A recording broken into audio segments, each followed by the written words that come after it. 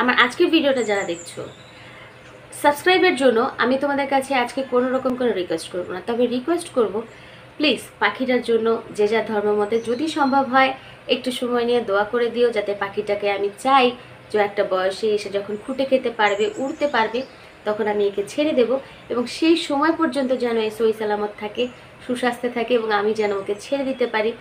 আশা করছি ছেড়ে দেওয়ার সময় সেই ভিডিওটাও অবশ্যই তোমাদের সাথে আমি শেয়ার করব।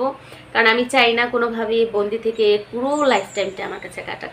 এ প্রাকৃতিকভাবে বেঁচে থাকুক, এর বয়ফ্রেন্ড বা গার্লফ্রেন্ড হোক, সংসার হোক, ডিম পারুক বংশবৃদ্ধি করুক প্রকৃতির সাথে বলে না কারও পৌষ মাস কারও সর্বনাশ। বৃষ্টি বাদলের এই সিজনটা কম বেশি আমাদের সবার কাছে ভীষণ পছন্দ। প্রচণ্ড গরমের পরে যখন বৃষ্টি পড়ছে ঝড় আসছে সত্যি সেটা আনন্দের কিন্তু কখনো কখনো দুর্ভাগা এই পাখিগুলির জন্য সেটা সুখ বয়ে আনে না। এই বৃষ্টি বাদলের দিনে যে কোনো একটা পাখির বাচ্চা তোমার সামনে চলে আসতেই পারে। কীভাবে পাখিগুলি কি খায় ওদের খাদ্যাভ্যাস হাইজিন মেনটেন এই ব্যাপারগুলি নিয়ে আজকে তোমাদের সাথে কথা বলব। ওয়েলকাম অ্যাকচুয়ালি পাখিটা প্রায় বিশ দিন ধরে আমার কাছে আছে। এটা একটা বুলবুলি পাখির বাচ্চা। আমি ভালোবেসে ওর নাম দিয়েছি মায়া। আর ওকে আসলে আমি কুড়িয়ে পেয়েছি। যে গাছটায় পেয়েছি সে গাছটা আমি তোমাদের সাথে ভিডিও শেষে শেয়ার করব। গাছের এমন একটা ডালে ওর বাসা ছিল যেখান পর্যন্ত ওকে পৌঁছে দেওয়া প্রায় অসম্ভবই ছিল। বারবার চেষ্টা করার পরও আমি পৌঁছাইতে পারিনি। দেন একটা ফলস নেস্ট তৈরি করে আমি ওকে আবার গাছের ডালে দিয়ে আসি। কিন্তু সে এত তুর তুরতুর করে, সে বারবার সে গাছের ডাল থেকে পড়ে যাচ্ছিল। তাই ও নিরাপত্তার খাতিরে পরে আমি ওকে নিয়েই আসি এবং আমি ওকে প্রতিদিন সকালবেলা ওর মায়ের কাছে নিয়ে যাই। ওর মা ওকে সারাদিন টেক কেয়ার করে খাওয়ায় এবং সন্ধ্যার সময় আমি ওকে নিয়ে আসি। আর বিকেলবেলার এই টাইমটা ও আমার কাছেই থাকে। আসলে পাখি আমি খাঁচায় পুষতে একেবারেই পছন্দ করি না প্লাস কেউ পুষুক, এটাও আমি সাপোর্ট করি না। কারণ একটা জিনিস ভেবে দেখো লকডাউনের কথা মনে আছে? বন্দি ঘরের ভিতরে কেমন লাগছিল তখন? ঠিক ওদের জীবনটা এরকম। উন্মুক্ত প্রাণী, উন্মুক্তভাবে বাঁচলে কি ক্ষতি? বিভিন্ন ধরনের ফল খেতে পছন্দ করে। তোমরা যারা রোড সাইডে অনেক সময় এই ধরনের গাছগুলি দেখে থাকবে, এর মধ্যে ঠিক এরকম কালো কালো ফল হয়। এটা এই পাখিদের খুব প্রিয় খাবার। আর এই ফলগুলিকে আমি আঞ্চলিকভাবে শুনেছি, এটার নাম কালো পটকা বলে, কিংবা বা অনেকেই আমি এটা সিফটি ফল বলতে শুনেছি। আমি আসলে এটার অরিজিনাল বইয়ের নাম কি আমি জানি না। তো এই গাছের এই ফলগুলো ওদের প্রচণ্ড পছন্দ। আর পছন্দ হচ্ছে এই ফলগুলি। এই ফলগুলি তেলাকুচু গাছ থেকে আসে আর এটা পেকে যাবার পরে খুবই উপাদেয় একটা খাবার। ওদের জন্য ওরা খুবই মজা করে এই খাবারটা খায়। আর এই যে কালো ফলগুলো আমি দেখালাম, আমি একটু দেখাই তোমাদেরকে। এই ফলগুলো দেখতে অনেকটা পুঁইশাকের বীজের মতো দেখতে। কিন্তু আসলে এটা পুঁইশাকের বীজ নয়, এটা ওই ফলগুলি যেগুলি ওদের খুবই পছন্দ। আর এই ফলগুলি আসলে রোড সাইডে পাওয়া যাওয়ার কারণে এখানে এই পাখিটা পুষতে খুব বেশি অর্থের খরচ পড়বে না। যখন আমি ওকে ওর মায়ের কাছে রেখে যাই, তখন আমি বারবার ফলো করেছি ওর মা কোত্থেকে কোত্থেকে এই ধরনের বীজগুলি কুড়িয়ে এনে ওকে বারবার খাইয়েছে। এটা হচ্ছে পাকা করলার বীজ আর এটা হচ্ছে পাকা পটলের বীজ। এই খাবারগুলি ও প্রচণ্ড পছন্দ করে। এই ধরনের পটল থেকেই সুন্দর খালি বীজগুলি বের করে নিলে ওকে খাওয়ানো খুব সোজা।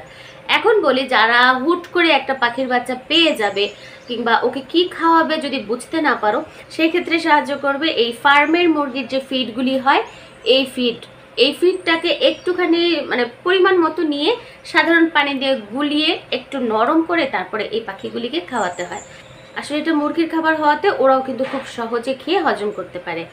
আমার অফিসে যেখানে ওর মা ওকে খাওয়ায়, সেখানে নিয়ে যেতে, নিয়ে আসতে আমাকে একটা কিছুর প্রয়োজন পড়ছিল জন্য আমি কিনেছি, ঠিক এই ধরনের একটা ছোট পাখির খাঁচা। আচ্ছা যে কোনো পাখির খাঁচার দোকানে এই খাঁচাটা অ্যাভেলেবেল পেয়ে যাবে। সত্তর থেকে একশো টাকার মধ্যে নিবে। এটা ক্যারি করার জন্য খুবই সুন্দর এবং লাইট ওয়েট একটা পাখির খাঁচা। এখানে একটা দরজা আছে এবং দরজার সাথে একটা লক দেওয়া আছে। তবে একটা সাইড এফেক্ট আছে যে এটা নিচে কোনো ট্রে নাই, যার জন্য আমি নিচে কাগজ দিয়ে তারপরে কিছু ঘাস দিয়ে ওর জন্য উপযুক্ত একটা পরিবেশ তৈরি করার চেষ্টা করেছি। আর এর মধ্যেই ও থাকে এখানে আমি ওকে নিয়ে যাই এবং এভাবে ওকে আমি ফিরিয়ে নিয়ে আসি। বাকি পুরো সময়টা ও কিন্তু খোলা অবস্থাতেই থাকে। আমি কোনোভাবেই ওকে আটকে রাখতে পারব না, আটকে রাখি না অ্যাকচুয়ালি আর রাতেবেলা ঘুমানোর জন্য ওরা আসলে ওর মায়েদের ডানার নিচে ঘুমায় আর যথেষ্ট গরম একটা অনুভূতি হয়। তো এই ধরনের ছোট বাচ্চাগুলিকে বাঁচিয়ে রাখার জন্য আমি যেটা করেছি, তুলো দিয়ে এই ধরনের একটা ঘর তৈরি করেছি, যার মধ্যে সে খুব কমফোর্টলি রাতেরবেলা এইভাবে ঘুমাতে পারে। সারা রাত সে খুব সুন্দর করে ঘুমায়। এই ঠিক এইভাবে সারা রাত সে খুব সুন্দর করে ঘুমায়। এখন বলে দিচ্ছি এই কালো পটকা ফল বা এই যে সিপটি ফল যেটা বলে, এটা একটা একটা করে দিলেই যথেষ্ট। এরা কিন্তু প্রচুর পরিমাণে খেতে পছন্দ করে। কিন্তু আঙুল সামনে নিলে এই মাত্র খাওয়ানোর পরও আঙুল সামনে নিলে এই খাওয়ার জন্য ব্যস্ত হয়ে যাবে। কিন্তু বারবার খাওয়ানোর দরকার নেই। দিনে আট থেকে দশ বার খাওয়ানোই যথেষ্ট। এদের হজম শক্তি খুবই প্রখর এবং খুব তাড়াতাড়ি হজম করে ফেলে। তবে অতিরিক্ত খাবার দেওয়াটা এদের স্বাস্থ্যের জন্য প্রচণ্ড রকম হানিকারক হতে পারে। বুলবুলি পাখির ঠোঁটটা এমনভাবে সৃষ্টিকর্তা তৈরি করেছে। ওরা কোনো ধরনের শস্য দানা খুঁটে খেতে পারে না। ওরা ফলমূল খায়, পোকামাকড় খায়, ঘাস ফুড়ি এদের ভীষণ পছন্দ। ওরা কিন্তু কেঁচোও খেতে পছন্দ করে।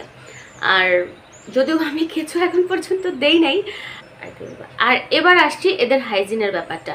এরা কিন্তু গোসল করে, আর এর জন্য সপ্তাহে দুই থেকে তিনবার ওদের গায়ে হালকা হাত ভিজিয়ে ছিটা দিলে, পানির ছিটা দিলেই যথেষ্ট। ওরা খুবই সুন্দর করে স্নান করে ওঠে।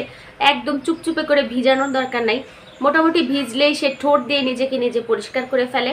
আর যদি অতিরিক্ত ভিজে যায় তাহলে প্রখর রোদে না, একটু ঠান্ডা রোদে ওদেরকে সে ভিজা অবস্থায় শুকাতে দিলে তারা খুব সুন্দর করে নিজেদেরকে নিজেরা একা একাই পরিষ্কার করে গোসল করে তবে একটা বয়সে এসে কোথাও একটা নির্দিষ্ট পরিমাণে পানি দিলে তারা একা একাই সেখান থেকে গোসলটা সেরে নিতে পারে। আমি বলতে পারি না এই গাছটা কি গাছ, তবে গাছটা অনেক বড় ছিল আর ডালের ঠিক এই কোনাটাতে ওর বাসা ছিল। যেখান থেকে ও পড়ে গিয়েছিল এবং তারপরে ওকে কুড়িয়ে পাওয়ার পরে আমি গাছে আবার যখন ওকে রাখতে যাই, ওই ডালে রাখা সম্ভবই হচ্ছিল না। আর তখন এই ডালটাতে আমি ওর জন্য ঘর বানিয়ে রেখেছিলাম। সবাই ভালো থেকো, সুস্থ থেকো, প্রকৃতির যত্ন নিও, নিজের যত্ন নিও। দেখা হয়ে যাবে নতুন করে নতুন কোনো ভিডিওতে ততদিন ভালো থেকো। বাই